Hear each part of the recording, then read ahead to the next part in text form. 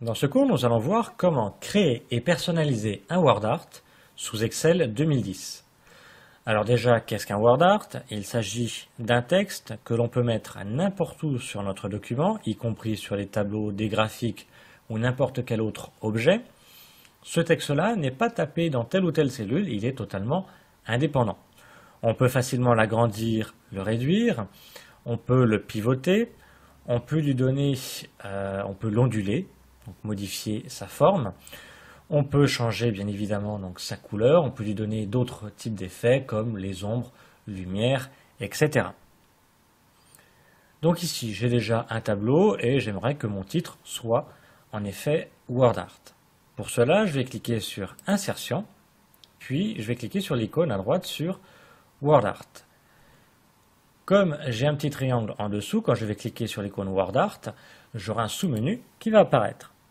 Alors, j'ai déjà ici des euh, présentations de WordArt prédéfinies. Rouge avec une ombre, avec un reflet, etc.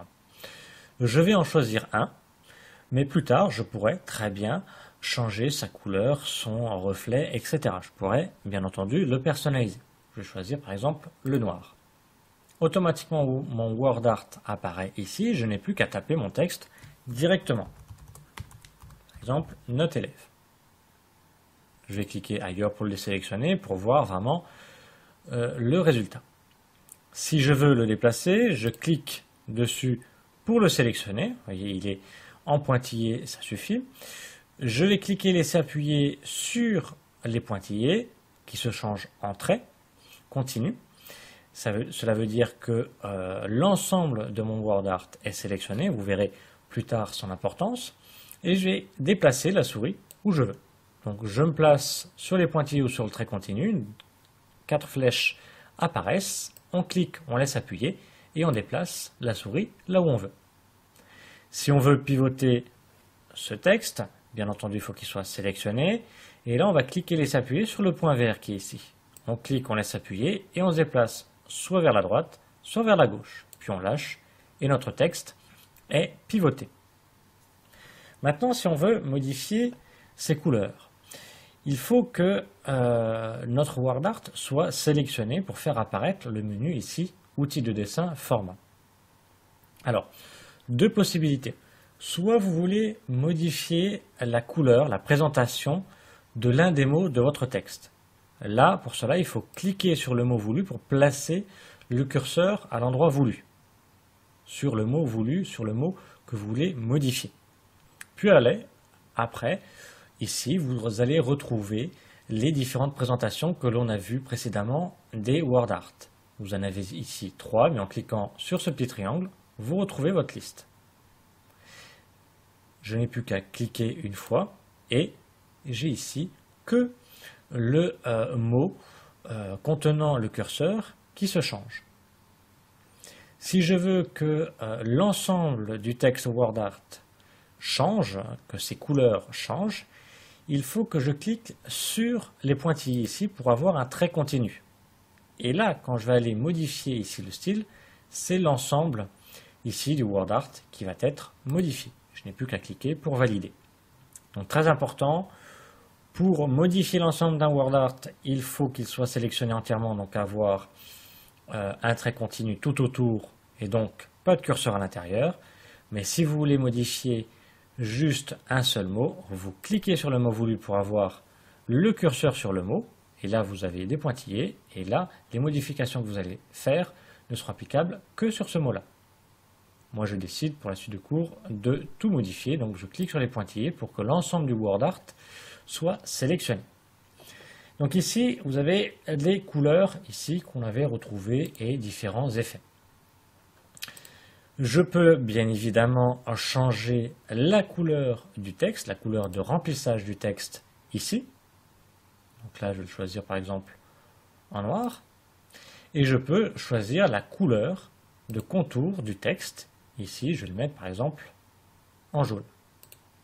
Je peux également euh, changer le type de contour. Ici, là, c'est un trait continu.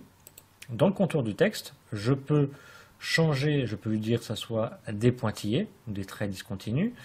Je peux changer l'épaisseur, bien entendu, et choisir d'autres couleurs de contour si celles-ci ne me conviennent pas. J'ai alors un nuancier qui apparaît. Je peux lui appliquer un effet à ce texte-là.